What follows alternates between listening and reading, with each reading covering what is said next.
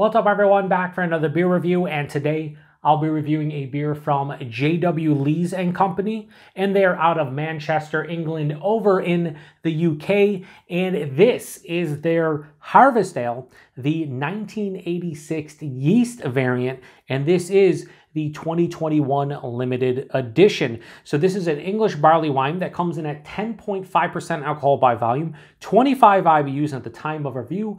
I don't know exactly how old this bottle is, but it does have a best before date of April of 2027, and we're just over four years away from that date, so we should be more than fine. And the Harvest Ale and all of its uh, variants and uh, releases and whatnot, they usually can age extremely well. So on the back here, they say, to celebrate the 35th anniversary of our legendary Harvest Ale, we've taken some of our 2021 edition wort and fermented it with the yeast cultured from an original 1986 bottle. This method has added a unique complexity from this historic yeast that will continue to evolve as it matures and they have ingredients water malted barley yeast and hops the core four and yeah i have not reviewed a beer from jw lees on the channel but i've had numerous um, different variants and releases of the Harvest Ale.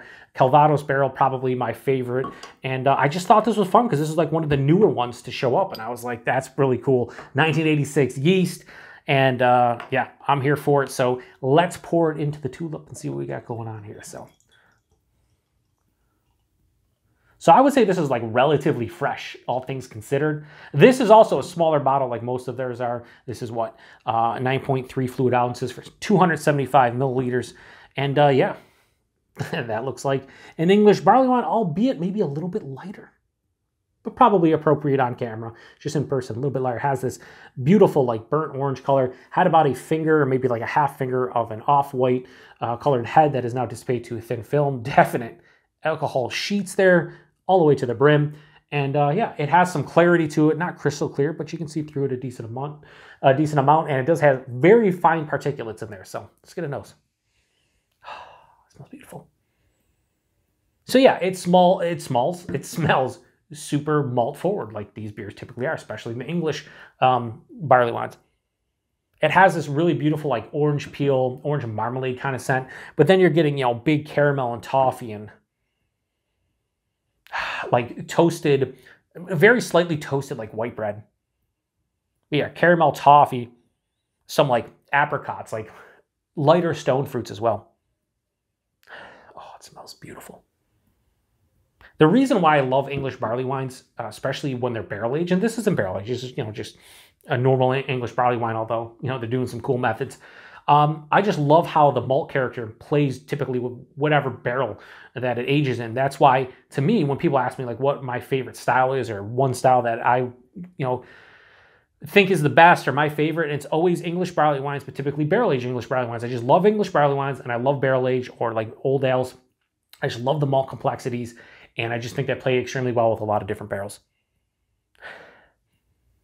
Touch of like a vanilla too. Maybe butterscotch. I'm starting to get like, like just straight on toffee, just like pure on toffee. And I just love toffee and it just smells like toffee. Yeah, it, listen, it smells a little boozy. This is relatively fresh, I would assume. It's one of the latest releases, especially that we've gotten here in the US. But it just smells like an extremely well-made English barley wine. Like there's a ton of malt complexity, maybe a little bit like an earthy hop note. But more often than not, you can tell the difference between an English barley wine and an American barley wine. Why? Because American barley wine is hop to piss. English barley wines are not. Yeah, this smells awesome. Uh, maybe even a little bit like a like a red apple too, like a like a caramel covered apple. Anyway, let's get into it. Cheers, everyone.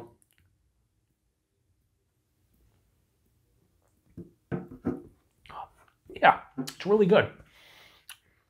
It's really good. I would love to see this in a barrel. And again, a lot of the harvest ales are in a bunch of different barrels, but like this specific beer that I just took a sip of, like, man, it would be great in a bunch of different bar barrels for sure. It's just, it's fucking good. I don't tell you. Body's like lower side of full, low to medium full. It has a slight oily, kind of syrupy kind of nature to it. So it's appropriate for 10.5%. It's not overblown, but I also don't think it's too thin really nice. Uh, the mouthfeel itself has some decent carbonation,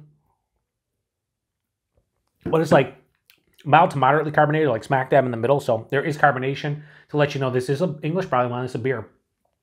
But it has a nice smoothness on the palate that and a little bit of a softer kind of feel to it. The taste. It's malt through and through, and that's kind of what you expect from these beers. From the palate, again, it's that toasted white bread, um, orange marmalade on toasted white bread.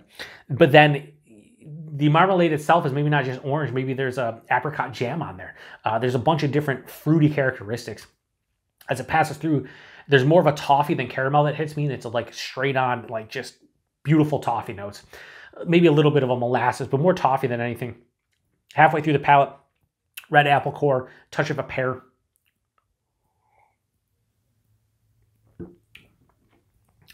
And as it finishes on the palate, there's a nice semi-dry kind of finish very mildly bitter. This definitely leans sweet. Like, if you don't like sweet English barley wines, then I, you probably won't. Put it this way: if you don't like the barley wine style, you're probably not going to pick this up. But if you did, you probably wouldn't like it because this is like an English barley wine through and through, and it's sweet. It's decadent from the malt. You know, I was going to say standpoint, but like the malt side of things shining through on this one. There's not a ton of like hop character. There's like a slight earthiness on the on the finish, very mild bitterness from it.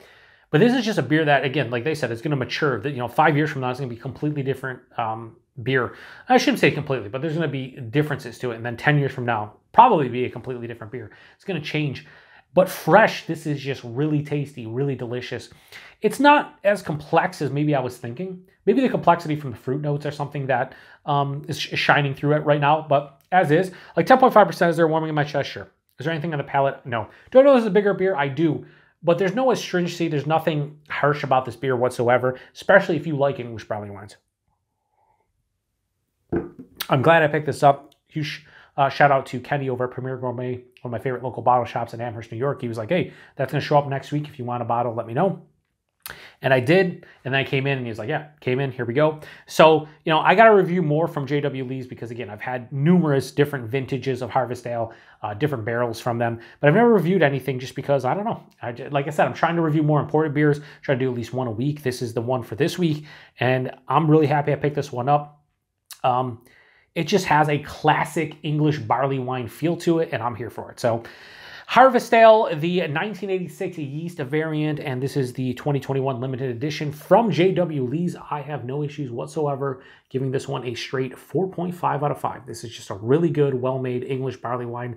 Whether or not they're uh, using a yeast cultured from a 1986 bottle, um, or you know they just took the wort from a 2021 edition, whatever, they usually know what they're doing, and this just hits the marks for me. This is kind of a no-frills English barley wine. Uh, what you see is what you get, and I could not be happier about it. So, price point again, it's imported at 10.5%. They're doing some crazy things. Um, this was $7.99 a bottle, so still under my $1 per ounce kind of limit that I try to, uh, the threshold that I try not to surpass at any point, but sometimes I do. And yeah, eight bucks for this bottle. I'm gonna enjoy every minute of it. I have no issues paying eight bucks for this. Some folks out there might think so, but like for me, it's good value. And availability, I don't know with uh, JW Lees. I know there's some places you'll walk in to uh, across the country where they have a crazy variety, and then other places where you can't even find it. I know here in Buffalo at the aforementioned Premier Gourmet, you walk in, they have like 10 different varieties of them typically like they have all kinds of different years um, different barrels and whatnot and this was just the latest that showed up so if you've had this one before post in the comment section let me know what you uh, think about it um, yeah, I'm gonna shut it down. Now, as I'm sitting here, you know what I'm kind of getting on the on the finish. Take a sip. Yeah, I'm getting like a slight like butterscotch kind of aftertaste. That's really nice. So yeah, gonna shut it down. Appreciate everybody stopping by for another a beer review here on the Beer Patrol. Uh, I did, I you know, I mentioned the sweetness. This is definitely it has a big malt sweetness, but to me, there's a difference between something like this where there's a big malt sweetness. And by the end of that glass, I'm be like, all right, I'm probably done with it, you know. So like a nightcap type of thing. But there's a difference between this and then something that's cloying eh, to the point where it's just like too sweet, like a lot of pastry stouts can get. There's a difference to me, something that is meant to be like this, and the malt is providing all that sweetness, and something else where like all the adjuncts provide the sweetness. Um, I think some folks think like this might be too sweet, and it might be for some, but this is sweet in the best way possible as far as a beer goes for me personally. So just want to let that be known. Anyway, to the next one. Cheers.